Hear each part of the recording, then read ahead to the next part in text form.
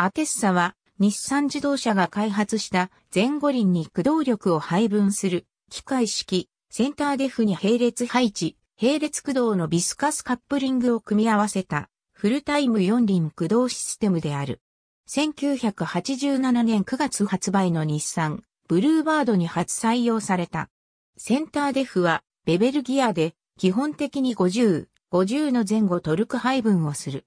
この点が FWD を基本とし、前後輪の回転差が生じて初めてビスカストルクの力で駆動力をリアに伝える従前のパルサー型ビスカス 4WD と決定的に異なる。アテッサはさらに前後のホイール間に回転差が生じるとセンターデフと並行したビスカス LSD がトルクを発揮し始め、本来50、50の駆動力配分を適切な範囲で再配分が可能となっている。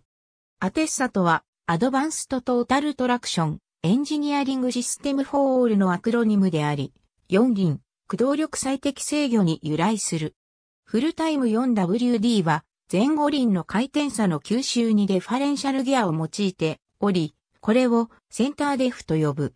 しかし、デフギアは片側に空転が生じた際、駆動力がすべて空転した側に伝わり逃げてしまうという欠点を持つ。この欠点を解消するために、センターデフと駆動力制限装置であるビスカスカップリングを組み合わせたものを日産が独自に命名した装置がアテッサである。センターデフビスカス LSD 方式はスバルや三菱などにも採用され、画期的な新技術として字目を集めた。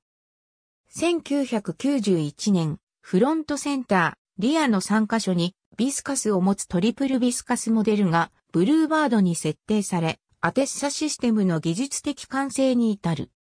なお、宿動輪へトルクレーンを直結し、電子制御式式多番クラッチで、10駆動輪へと駆動力を取り出す、アテッサ ETS とは、その構造からして全く異なる。ありがとうございます。